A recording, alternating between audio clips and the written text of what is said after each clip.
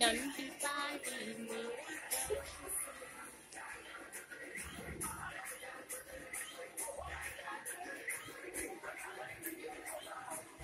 साहिर का फ़ोटो नहीं आ रहा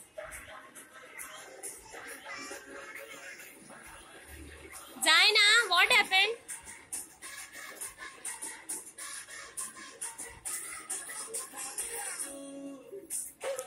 उसको निकाल दो।